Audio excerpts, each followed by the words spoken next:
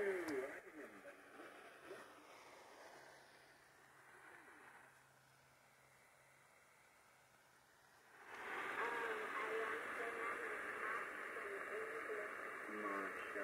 Allah makes it easy for you.